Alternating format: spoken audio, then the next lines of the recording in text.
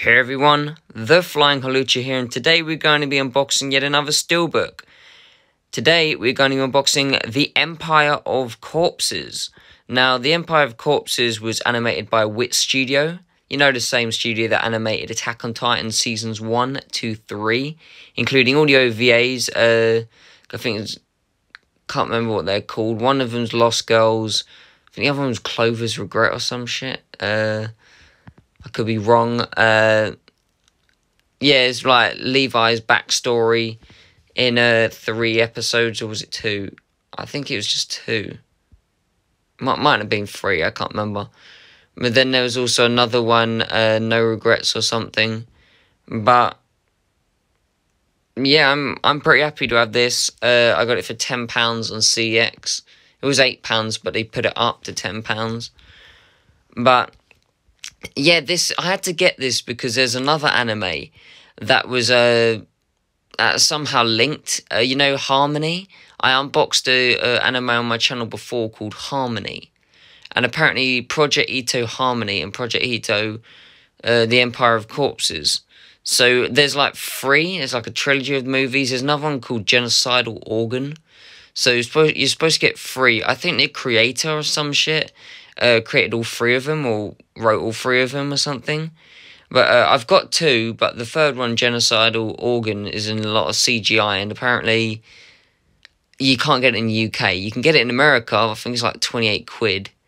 But uh, why would I pay £28 for a movie, though? That's pretty mental, unless it's a really famous movie. Like this Demon Slayer right there, which I'm going to get out of the camera in a minute because I'll talk about that later. But yeah, this is two hour long movie by Wit Studio. Uh, I'm really happy that uh, they brought out a steel book for this and uh, by all the anime because this comes with a booklet and two art cards, just like uh, Harmony did. Harmony also came out, uh, I think, came with like a poster and a few art cards or something. It's at the bo- back. Sorry, it's at the bottom of uh, all my other anime, so I don't want to go digging through to get it now. But yeah, I can't wait to unbox this. Uh, I can, there we go. So it comes with uh, an art card,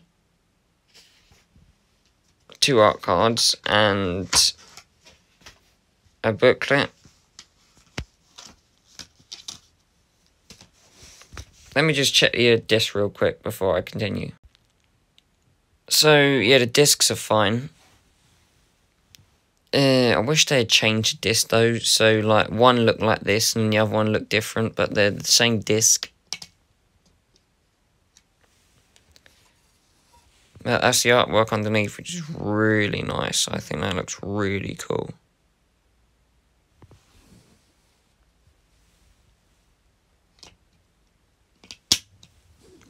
DVD. Blu-ray.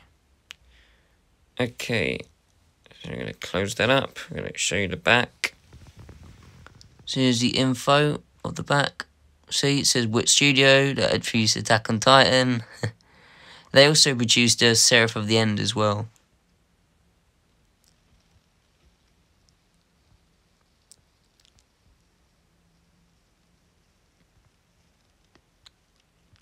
Thankfully, it's DTS HD Master Audio, which is brilliant. For a film, you need that. Doing strong, bloody violence. And of course, the glue solidify like it always does, but uh, the side is kind of annoying. I mean, they could have flipped in no dirt there, I'll clean that. They could have put more effort into the side, but yeah. Got to clean that as well, that just happened, but uh, now we're going to go through to the art card. Here are the art cards, so just go that a bit of a clean. But uh, I like booklets that have info, you know. Booklets with info are always really cool. And a bit of pictures as well. Oh, I just missed a page. There we go. A lot of info. There's, there we go, a picture. See, uh, after graduating from Yogi Animation, School in Tokyo. Da, da, da. Joins the production IG studio. Damn. Makihara joins the production IG studio. He then becomes a company member with studio as a key animator and takes part to numerous TV series such as Doraemon. That thing's been around since the 70s, man. I'm watch that crap. Ghost in the uh, Shell standalone complex. Oh, cool. That was part of pro production IG, so no surprise there. Attack on Titan, we know that. Mm-hmm. Oh, he was a director of Hal. Storyboard art director. In 2013, he produced his first film named Hal. Oh, yeah, that was uh, Studio Wit as well, wasn't it?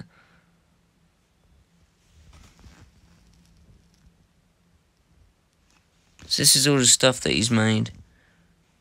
Don't know about that one. Wait, he worked in episodes 17, 18, and 24. Hmm. Blood Plus. The o- OP. episode 1, there's like 50 episodes of Blood Plus. Don't know that one. Don't know any of these. God. Uh, Doraemon, Doraemon, Doraemon. Damn, so much shit, Doraemon. Fractal, I've heard of that. Fullmetal Alchemist the movie, The Conqueror Shamballa, okay. Right, he worked on the second season of Ghost in the Shell. Eight episodes. Guilty Crown, oh, I didn't know he worked on that. Uh, Kaiba, I've heard of that, don't give a shit. Oh, Monster, he worked on Monster, that's a flipping key animation, that's a flipping madhouse. Don't give a shit about Naruto. Paranoid Agent, okay.